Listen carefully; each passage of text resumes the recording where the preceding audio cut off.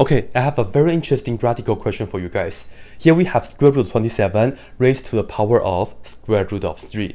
And I give you guys choices. This one is equal to which of these? You know the deal. Please pause the video and try this first. Done?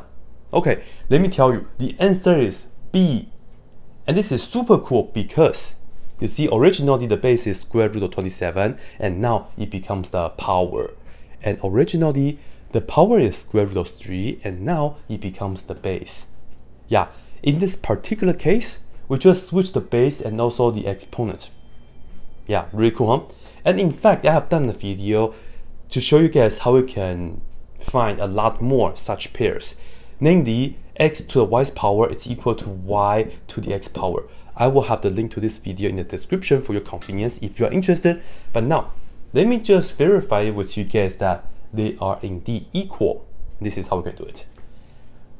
Let's look at the square root of 27 first. Firstly, we can write the square root as the 1 half power. So this right here is the same as you know 27 and then here we have the 1 half power and then I'll keep the square root of 3 power right here.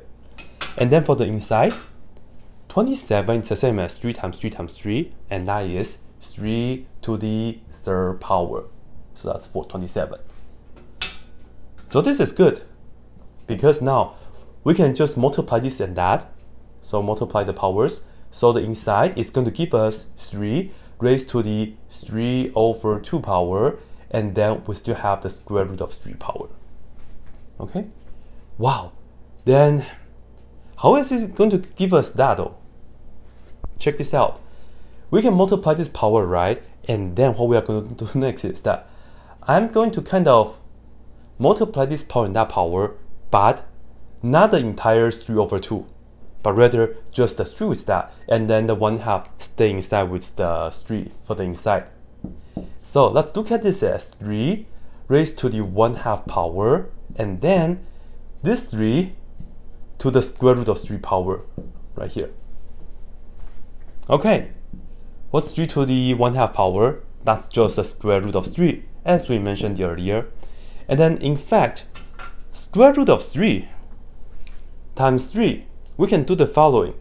When we have 3 square root of 3, this 3 is the same as saying square root of 9, yeah?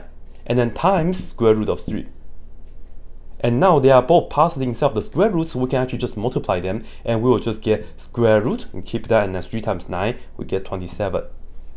So this power right here is just square root of 27. That's why it's equal to b. Cool, huh? So, again, this is super cool because the base and the exponent commute, meaning that you can just switch them and then they will still give you the same value.